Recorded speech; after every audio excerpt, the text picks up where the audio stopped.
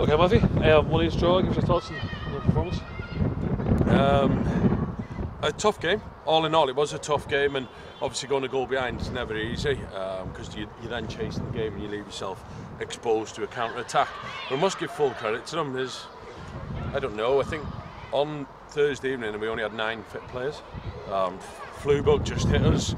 Um, we told people to stay away. People came to training that wanted, and then that made it worse. Chris Lavery missed out due to it. Um, and it's difficult, you know. I'm wanting to crack up at them because they're not full of energy, but I also have to appreciate that it was a difficult, you know, difficult week in terms of the sickness bug and whatever else, and then just coming here, difficult conditions. So you come in after the game, and, you, and you're probably on, a, you know, when you look at the season, you're probably marking this down.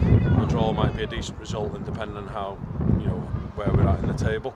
Um,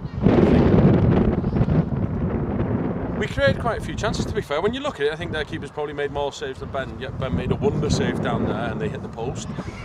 A draw is probably the fair result today, if I'm being honest. Uh, at stages we looked really good, and at stages we didn't look so good.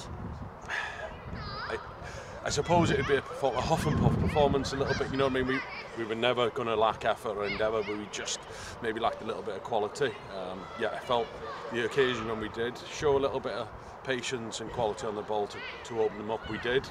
Um, we just didn't obviously get enough goals to get the win. Lee Bonis got his goal and it was a, a, header where he really had to work. He did, and he did. He had desire to go. Um, there's a talk, you know, there's something I often say to the boys, you know, some people want to score goals, some people need to score goals. In the situation where I um, need to win matches, we need to win. Lee needed to score then, you know, to really pull us out of trouble. Um, to get the point, and he did, and he attacked it like he needed that ball. They probably wanted to get it away. He needed to score, and, and thankfully did. And it was a good bit of play actually because we played out from the back and we went and what we should have done more, we should have came into the middle because Cricket was on all day because the way Stephen was playing narrower than what we normally play, taking the full back. We didn't do it.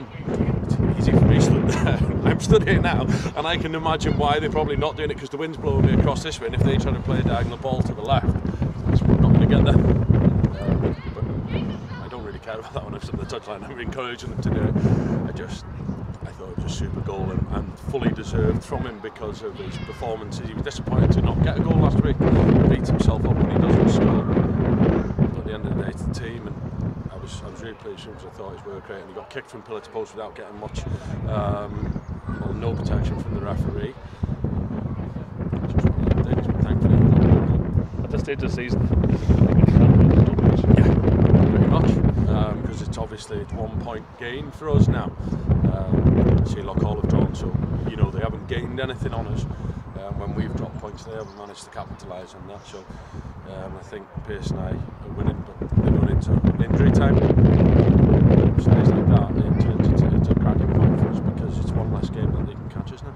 You're handing the lamps up then? They'll be. I don't know what they're on.